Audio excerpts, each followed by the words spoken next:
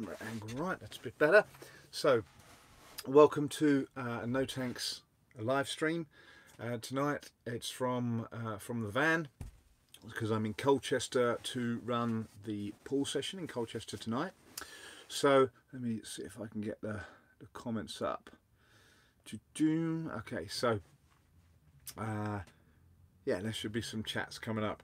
So um, good news uh, on Freefest is going ahead and um, that's on the 17th of July. It's definitely going ahead. We've got just confirmed um, the accommodation uh, or the campsite as it is otherwise known. Um, and we have the marquee coming, etc, etc. So it's all go for Freefest. Um, tonight um, is an interesting live stream uh, because I didn't think it existed.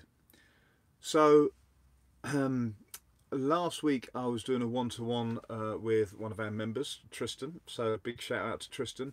And he said, I want to learn the hand signals. And I said, well, there are no hand signals. Uh, I mean, there's some obvious ones which he already knew. Um, but all the hand signals, he said, I want to learn all the hand signals. So I said, well, there's apart from the two or three you know, there's there's there isn't any. And then he started describing some of the hand signals that uh, he'd seen us using as seniors, and it got me thinking. Actually, there are quite a few hand signals that we take for granted as seniors um, when we're organising trips and organising dives, and actually there are quite a few. Um, so, and there's also some um, how can I put it? Signals that definitely shouldn't be used. And maybe from a safety point of view these are as important as the um, signals that we kind of are using. So I'm going to break them up into uh, ship and shore uh, diver to your safety uh, non-verbal communications senior um, diver communication and then just some fun ones that you can go away and learn. Okay, so to start with, um, ship to shore. There are three um, ship or shore. So that's when you're in the water and you're communicating to a ship um, or to the shore um, and, and vice versa. So they're very simple. Um, so the first is uh, we are okay. So um, let me just prop that up so you can actually keep. So uh, we are okay, standard scuba sign. It's actually both hands, big O for we are okay. If you've only got one hand, uh, this. And it's a question and an answer. So are you okay? And then the people in the water say, yes, we're okay. Or if you're in the water and you look into the shore and you say, we're okay, and they say, good, we get the signal, you're okay. You get the message. Um, the only other uh, no, sorry. So that's that's uh, ship to shore. I am okay, or we're okay. Question: Or are you okay? Then we have this, which is end dive. So if the shore is telling the divers, okay, end dive now. Um, usually you're too far away to uh, communicate any sort of information, but realistically, it's it's irrelevant why you're stopping a dive we're stopping the dive. So that's the divers telling shore we're stopping the dive, come and pick us up, or um, you know uh, the shore saying to the divers you're out of time or, or something's happened, stop the dive. Uh, you can also use your fins if you want to hold them above your head. Um, so if you're trying to communicate to get a boat to pick you up, you can say dive's finished by crossing your fins above your head. Okay. Um, and the um, so that's again, there's no there's no need for any extra information. You're just saying the dive's finished. The only other one is distress call, which is uh, waving. So um, you don't wave unless you're in distress. When you uh, wave your hand, uh, or, or, both hands, whichever, this is distress. Come rescue us now. So um, so that's it. That's how you communicate over long distances. Obviously, you can use this if you're two diving groups in the water and you're too far away to you know use verbal communication. uh, but usually this is from free divers to the shore and the shore to the free divers. Right? Uh, bear in mind, you've got to keep it simple. Um, you don't want to have any uh, area for um, you know miscommunication. That's why there's only three. Are you okay? Yes, we're okay. Um, stop the dive um, or you know, uh, distress. Okay, so that's um, that's ship or shore. Next up, we have uh, diver to the safety diver. Now, this is quite interesting. There are no signals that should be used between the diver and the safety during a dive. There are no signals. Two reasons why. One, from a safety diver's point of view, the safety diver, their sole purpose is to be watching the diver. That's their only purpose. So they're watching the diver and the diver's either fine or not fine. Um, and, and that's it. There is there's no there's no other ambiguity. So if you're in any doubt at all, uh, as a as a safety diver looking at a diver, whether it's um, them just you know taking a photograph or just snorkeling or in competition, uh, you're looking at a diver, and you can tell there's something wrong, you help them. That's it, black and white. Um, so from the safety type, safety diver's point of view, the only reason they're there is to watch you uh, or watch the diver and, and make sure they're okay. So if they're tangled up, as you can see they're tangled, so you can go and help them. Or if they're in distress, you go and help them. So it's either they're calm, cool, calm, collected, doing a dive, or they're not. Right? If you wait for a, a diver to make a signal, it's probably too late. So, I mean, if you've got a rope and they're pulling up the rope and they're meant to be finning up, then there's something wrong. You don't need them to say help. There's or whatever signal that they, you've you've made up. There's no just you don't need the signal. Okay. Um. Yeah. From the freediver's point of view, you should have your eyes, especially on the ascent, which is where the safety is, is probably going to be. Um, you have your eyes closed because you can't relax with your eyes open. So you have your eyes closed and you crack them open, you see your safety diver. That is the information you need. You need the information that the safety diver is watching you. Now, after that, you close your eyes again, knowing the safety diver's there. As soon as you start making signs or smiling or doing something silly, um, you're wasting energy number one by and hydrodynamics. You know you're nice and hydrodynamic and you, you make an okay sign it's going to make the dive a little bit difficult more difficult. But the brain process of thinking oh shall i make a sign? And then you make a sign and wait for this for the free the, the, the, the diver to, to respond is burning up oxygen in the brain which you don't want to do. Okay? Remember saying i'm okay to the safety diver is bloody obvious. They're your safety diver. They're watching you. They know you're okay. So why tell them you're okay? They know you're okay. They're, they're watching you. So making an okay sign is uh, a waste of your energy and a waste of your brain power. Okay. Obviously, if you need a hand, you put out a hand, you grab the, the diver, you, you need a hand. Like, but they will know that because they can see you. So there's no there's no need to, to make the okay sound when you're underwater okay? Um, to your safety diver because that's what the safety diver is there for okay? There are times when there's non-verbal communication between and we call it we overridingly call it non-verbal communication. Of course if you're underwater it's always non-verbal because you know that's not true actually. That's not true. Um, you can uh, verbally uh, um, communicate with other people underwater but we call it non-verbal communication as a as a uh, over a bigger kind of name.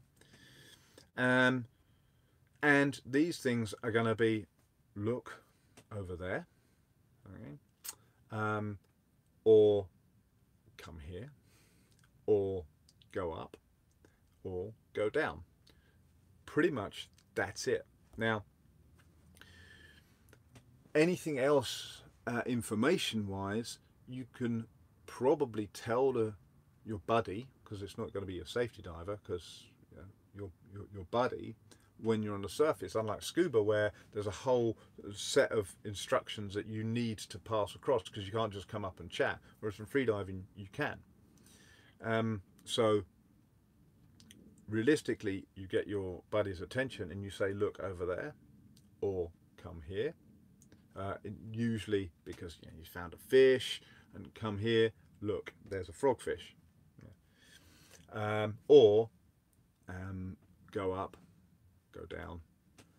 I don't know when you might say go down.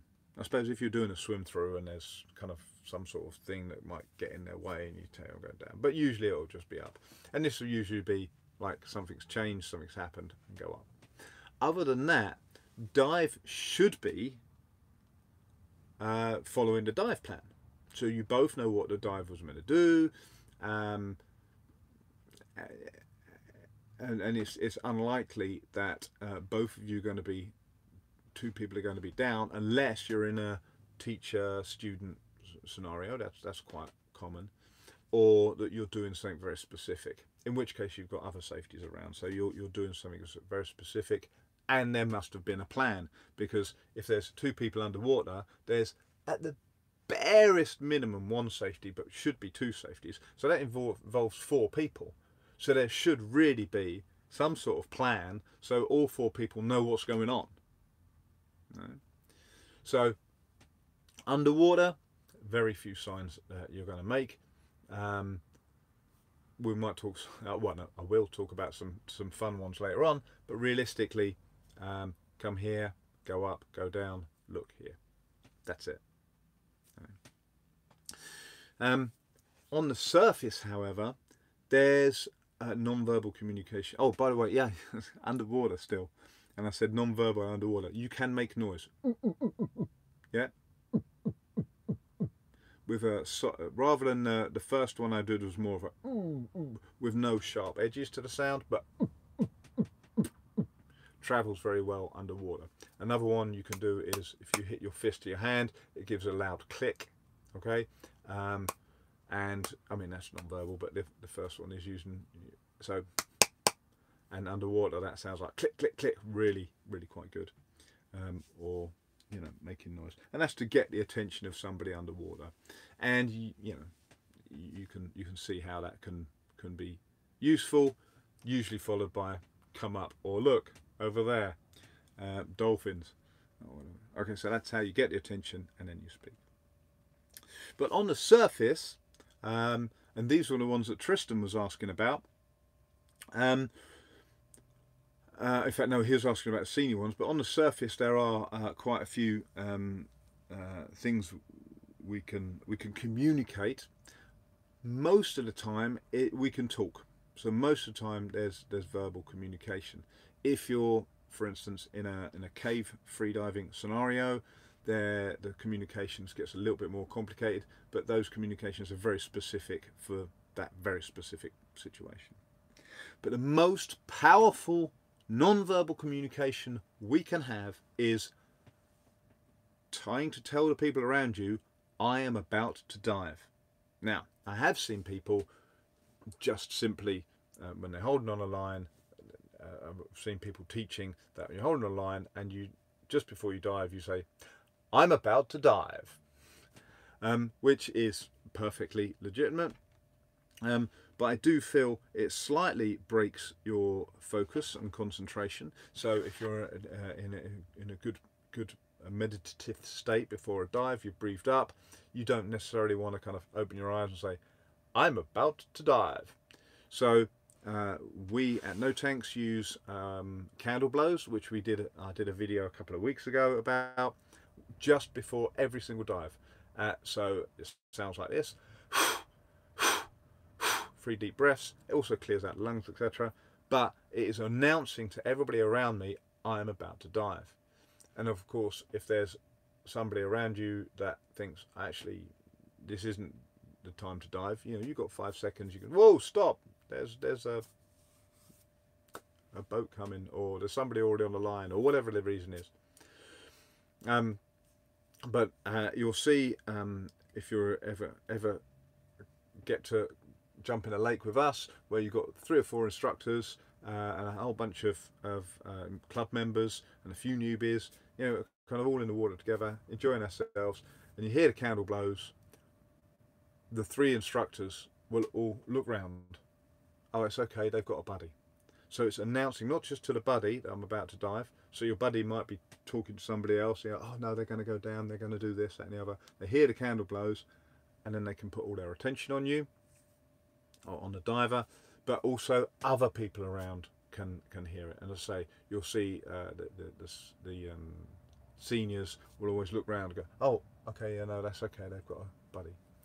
Okay, so really, really powerful non-verbal communication.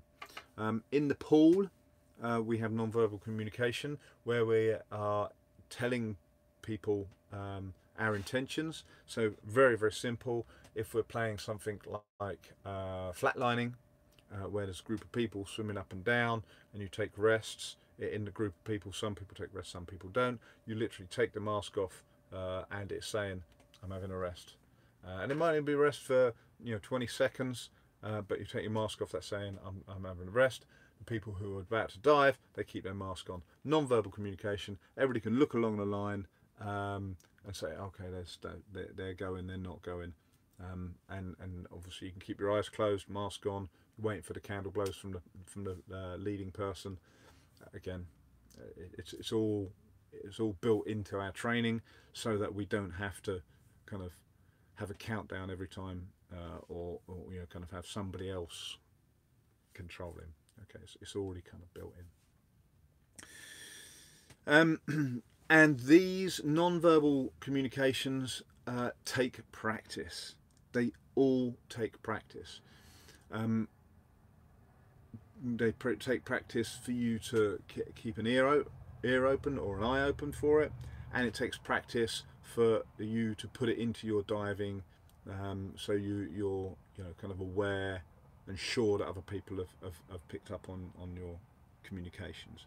Practice, practice, practice, practice, practice. And this is why um, you know we, we build it into the our No Tanks sessions and and they're there. They're they're already there, built in. So when we go out on the lake, you know, we already know they know what they mean. Um, so the one that Tristan was asking about were the senior instructions, um, and um, Again, these are very specific and take a lot of practice.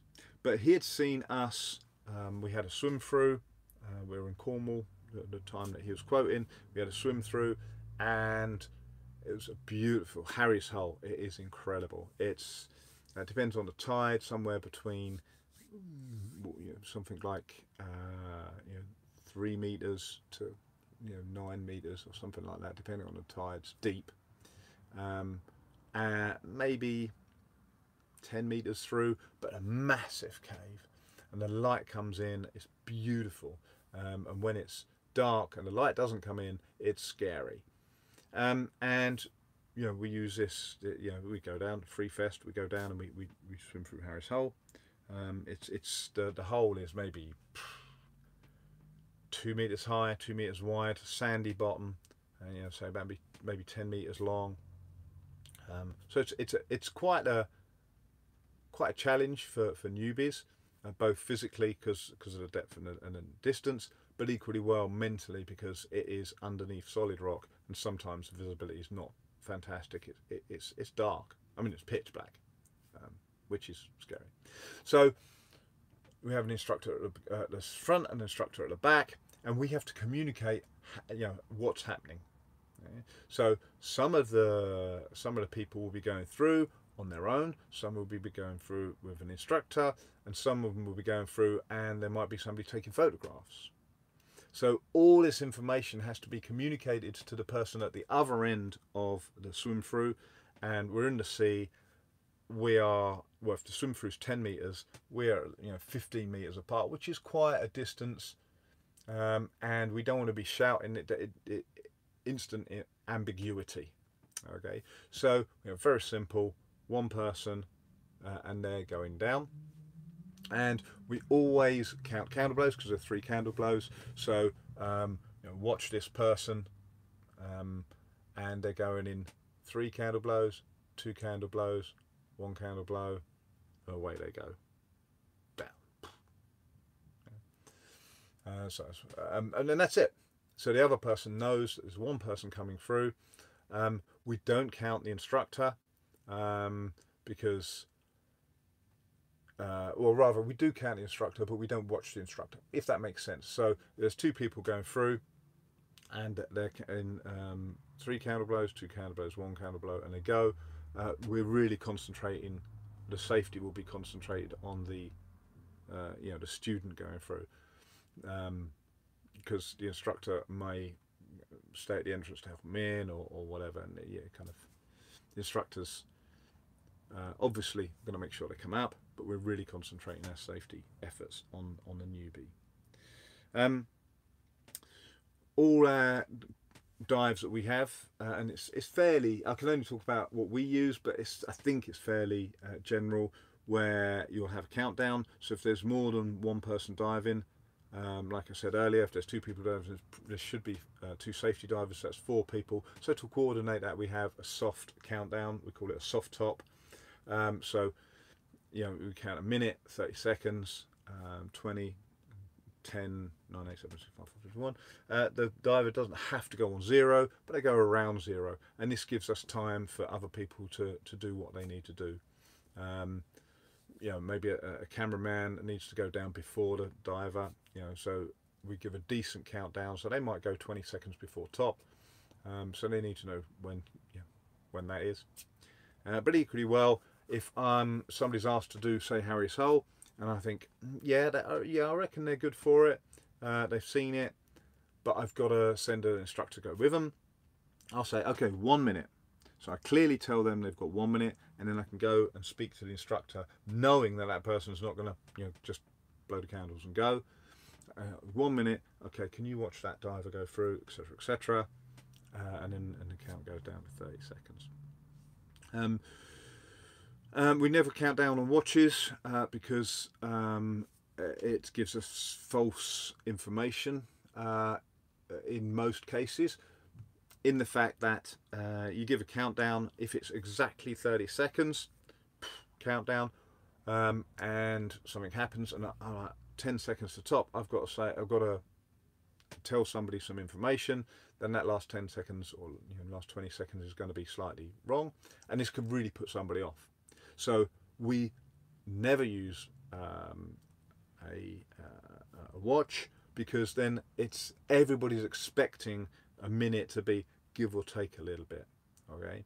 Um, you know and, and so everybody's already expecting it. It's never a shock. You know you might be somewhere and you you know if you count down with a watch all the time and then one time you don't have a watch then it's going to be slightly different. And if you're not ready for that then that's going to just mess you mess you up. So we always count down without a clock so you count in your head uh, also gives you a lot more awareness about time you start learning about about how slow uh, seconds are um, of course if you do count up with a watch it's no problem it, it's going to be perfect so the diver is you know is, is okay with it being perfect if they're used to it not being perfect they're going to be okay with it being perfect. But if they're only used to it being perfect, then one day it's not perfect, yeah, it's, it's real, really painful. So we don't count down with a, with a clock. Usually 30 seconds or one minute, um, and, and then, yeah, we, we go with that. Okay, so I think pretty much they're, they're, the, they're the signals that we use. So we got ship to shore, uh, and they're obviously for safety. So you've got okay, um, end of dive, or, or yeah, distress, help, uh, diver to safety, you should never be speaking to a safety. A safety diver's sole objective is to be looking at you and making sure you are safe. So there's no need to say, I'm okay, because they're like, yeah, I know that. That's what I'm here to see. Um, lots of non-verbal communication, but uh, fairly obvious uh, and fairly specific. Um, with no tanks, our candle blows are king. They we use them literally. They'll be used. I'll be doing a session uh, on a last Thursday, for instance. We had 25 people in the water, so that's 25 people. Each of them did know, 10 dives, 20 dives. So that's 500 sets of candle blows. Every single one was heard by somebody at some point. Uh, so I'm on the side and I'll hear a candle blow kind of randomly. I go, why is that person doing a candle blow? Oh, it's a senior, they're going early, they're going late, etc., etc. Um, so yeah, so in one pool session there was uh, 500 individual uses of candle blows to communicate to people around them what they were doing. That's quite a lot of non-verbal communication. Of course, um, there are senior communications which you will learn and need to practice if you uh, go up to the, the ranks to, to a senior diver. And on top of that, you have some fun signals. So uh, these, they're not so useful underwater because if somebody, if because you uh, so limited with time, just saying look over there, and there's a shark, people are going to see the shark. But if you really feel you need to, you can say shark over there. Okay, uh, these are just scuba signs. Uh, so shark over there. Uh, I have actually used it from two boats, but I don't know whether that's a freediving signal. If you're on a boat and somebody else is in the boat and I've gone. Um, uh, we have, uh, how, do, how, do, I do this on the, on the screen? Turtle, uh, triggerfish, just classic um, uh, scuba signals for different fish, basically. Um, so um, look them up. There are some funny ones out there. Um, and and say usually with freediving you'd come up to the surface and say hey did you see that triggerfish as opposed to uh, trying to get somebody's uh, attention while the dive is happening and kind of point out something um, you know point it out as a triggerfish you don't care just look over there and they'll, they'll kind of see what you're talking about.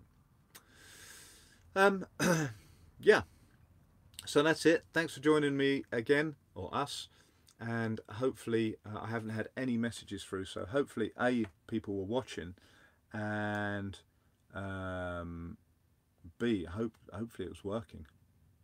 So, speak to you later. See you next week. Cha -cha -cha